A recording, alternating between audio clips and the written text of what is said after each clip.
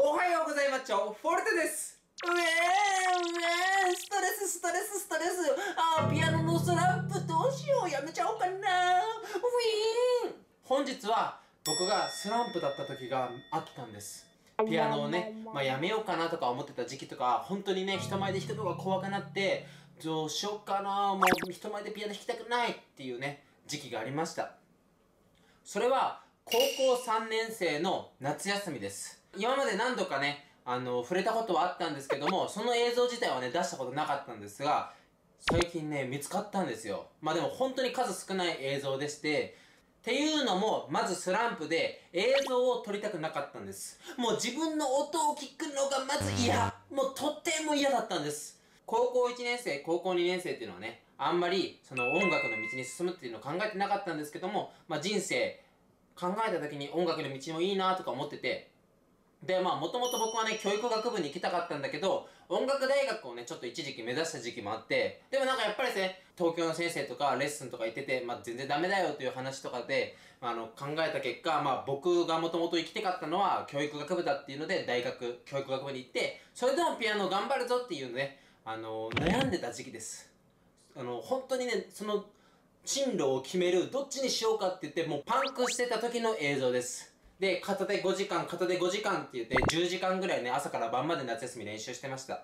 で、その時にスランプに陥った曲が、ショパンエチュード10の4です。そうです。今ではね、僕の得意曲、お箱みたいなところあります。っていうのをね、あの、2枚目の熱情の CD ではね、10の4も収めるっていうことなんですけども、その CD に収める曲、今では得意曲だけど、最初やった時本当に弾けなくて、1年間ぐらいもう悩んで、全く弾けなくて、で、もう大スランプに入って、人前でアンプは飛ぶし、ぐちゃぐちゃになるし、止まるし、もう本当にピアノ弾くのがすごく怖くなった時期です。まあだからその時の家での練習、まあ家での投資演奏のやつが出てきたんですけども、すっごく暗い映像です。なんかね、うんでね、悲しながらな、もうこうやってね、スランプになりながらね、演奏してる感じの演奏です。まあ、それは今日、一緒に皆さんとね、見ていきたいと思います。まあ、ただ単に見るだけではつまらないので、突っ込んでいきます。で、えっと、また後日ね、演奏だけでね、記録用として曲2曲出しますね。今回出す曲は、ショパンエチュード10の4と、ショパンエチュード25の1、エオリアンハープっていう曲です。どちらもね、大スランプの中、本当にね、心苦しみながらピアノね、弾いてた時期だったので、今とは全く違う、あの、演奏です。ですので、一緒にね、見てもらえたらなと思います。それでは、スタート真面目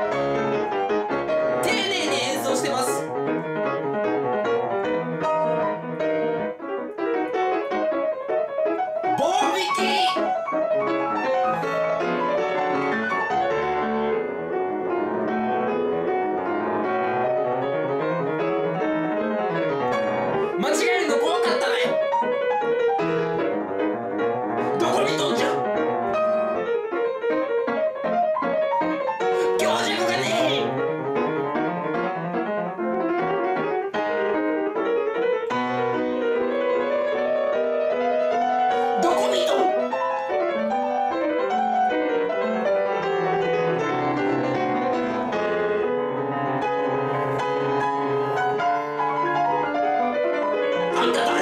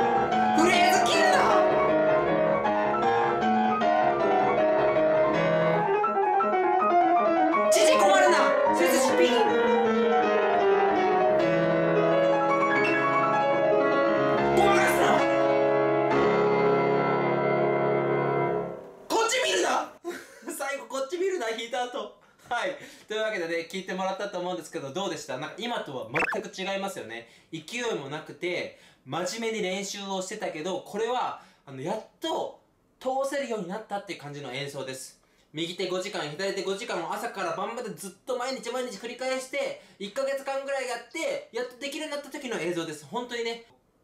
悲しい映像ですね。結構ね暗いですよね。演奏も表情も顔も雰囲気も全て暗いです。まあねこういう時代があったんです。これがスランプです。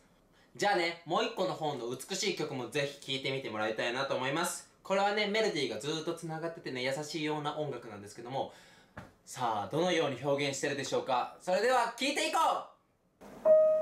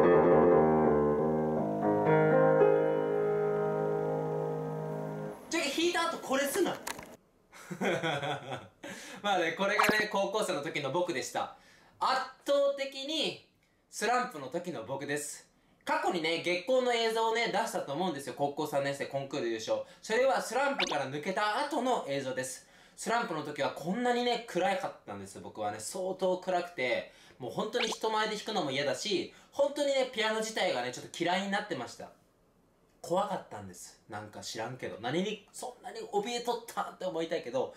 怖かったんです。でやっぱりねあの演奏としてもくっそつまらなくて何がつまらないかっていうともうなんかね間違えるのが嫌だ。ミスをしないように丁寧に弾いてる。勢いもなくてなんか棒引きみたいな感じのね典型的な面白くない映像だったのでまあ聞いててねちょっと突っ込んでしまいました。だけどあのその後からはなんかねそのスランプから抜け出すとまああの一気にね自分がね上がっていったのでちょっとねまあその過去のねコンクールのね優勝した月光とかもぜひ聞いてみてください。同じ高校3年生の時だけど半年間違うだけでここまで上手になったんです。絶対今スランプの人もいると思うんだけど必ずね理由っていうのが存在します。なんで怖かったか今考えてみるとあの自分の能力のなさに気づき始めた時だったんですね。でその能力に気づいてたけどその認めたくなかったでも自分の中では分かっていたからこそ余計人前で弾くのが怖くなってたって時だったのでまあそのね自分の苦手なのが分かってたっていうのは自分がたくさん練習することによってカバーできたのでそっからね自分はねスランプから抜け出せるようになりました。まあというわけで皆さんにもねぜひこの動画見て元気になってもらいたいなと思います。で演奏だけの映像をねまた記録用ね演奏として、ね、投稿したいと思ってますのでまたその時もね見てもらえると嬉しいです。スランプフォルテ今こうやってピンピンしてるよってことなのでね。えこんなにね人っていうのは変われるのでまあぜひ皆さん頑張ってみてください。そしてねこの時ねモザイク処理されてると思うんですけどもなんでかっていうとねパンツで練習してました。すいません。というわけでねここまで見てくれてありがとうございます。スランプフォルテでした。 그래 이렇게 나만 급하면 스테테 난 나만 참내를 더러 크시 테네 뭘 맞춰 무슨 맞춰 맞춰 맞춰 맞추는 걸 맞춰 맞춰 맞춰 맞춰 맞춰 맞춰 맞춰